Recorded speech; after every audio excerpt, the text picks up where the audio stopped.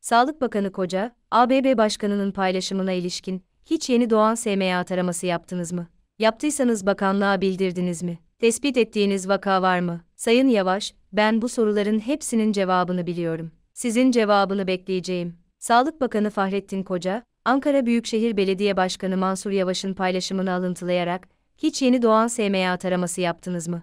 Yaptıysanız bakanlığa bildirdiniz mi? Tespit ettiğiniz vaka var mı? Varsa kanuni ve insani bir zorunluluk olarak bakanlığımıza bildirdiniz mi? Sayın Yavaş, ben bu soruların hepsinin cevabını biliyorum. Sizin cevap vermenizi bekleyeceğim. Bakan Koca sosyal medyadan yaptığı paylaşımda, Yavaş'ın Sayın Bakan, bildiğiniz gibi Türkiye'de bir ilke imza atarak 27 Şubat 2021 tarihinde ücretsiz SMA testini yapmaya başladık. Aralık 2021 tarihinde ise Sağlık Bakanlığı uygulamaya başladı. Bakanlıklarımıza örnek olmanın gururunu yaşıyoruz.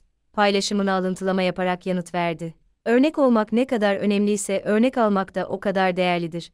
Diyen koca, yapıldığı iddia edilen SMA tarama testleriyle ilgili böyle bir durumun söz konusu olmadığını belirtti. SMA taramalarının sadece evlenecek çiftlere uygulanmadığını, yeni doğan bebekler için de merkezi programa alındığını ve bakanlık tarafından etkin şekilde yürütülmekte olduğunu ifade eden koca, şunları kaydetti. Paylaşımında belli hastalıkların toplumda taramalarının yapılmasının bir halk sağlığı görevi olduğunu vurgulayan koca, bu faaliyetlerin yürütülmesinde rol almak isteyenlerin de Halk Sağlığı Genel Müdürlüğü'nden izin alarak katkı sunduklarını söyledi. Paylaşımın devamında şu ifadelere yer verildi. Bunun temel sebebi de atılan her adımın kaydının tek merkezde tutulması ve etkin mücadele için tedbir alınmasıdır. Kayıtlarımızda izin müracaatınıza rastlanmamıştır. Bizim bilmediğimiz bir müracaatınız oldu mu? İzinsiz olarak ve örnek olmak amacıyla bu taramaları yapmışsanız bile nerede yaptığınızı öğrenmek isterim. Kayıtlarımızda belediyenize ait bu imkanları haiz bir laboratuvar ruhsatı bulunmamaktadır. Yaptık dediğiniz testleri nerede yaptınız? Tarama testlerinin sonuçlarının Halk Sağlığı Genel Müdürlüğü ile paylaşılması bir zorunluluktur.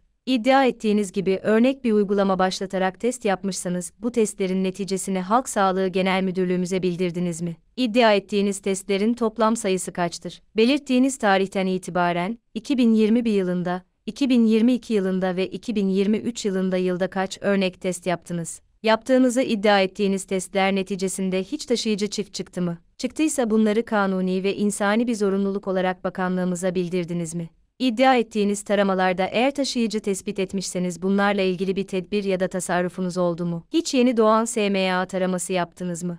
Yaptıysanız bakanlığa bildirdiniz mi? Tespit ettiğiniz vaka var mı? Varsa kanuni ve insani bir zorunluluk olarak bakanlığımıza bildirdiniz mi? Sayın Yavaş, ben bu soruların hepsinin cevabını biliyorum. Sizin cevap vermenizi bekleyeceğim. Cevabınızın 14 Mayıs akşamı milletimizin huzurunda yaptığınız açıklamalar gibi olmamasını temenni ederim.